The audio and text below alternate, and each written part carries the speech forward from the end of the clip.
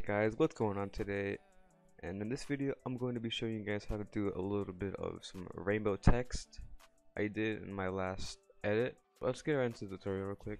So basically, all I really did was make a curve out of text layers and to show you the keyframing I did.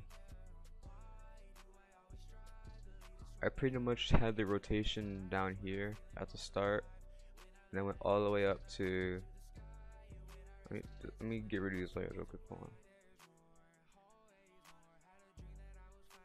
So I can show you guys this one layer.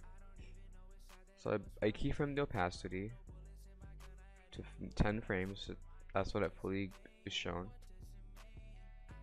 And I have my scale at 40 and then the rotation at negative 164 I went all the way up to 60 frames which is also two seconds in the, in the video. And I pretty much just repeated this entire thing throughout the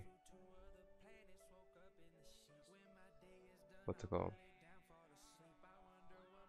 Throughout the effect I guess you could say. And it kind of goes like how many frames is a routine here. So one two three four five five frames one two three four frames. One two three three frames. One two frames. One two frames again. One two and then one. So it's almost like a curve but like with layers. And it's just the same keyframe every single time. Like this. And I also changed colors. I'll leave like a list of colors from bottom to top so this would be the starting color so it would be yellow.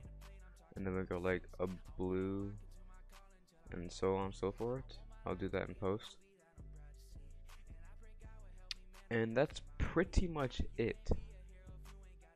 Oh I forgot to I forgot to add on each of the layers I also added a little wave effect. So there are the settings for that and that's pretty much it for this little effect this rainbow effect.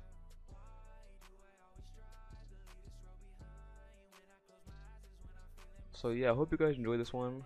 Uh, I know a lot of people are gonna be using this. So yeah I hope you guys enjoyed it and I'll see you guys in the next one later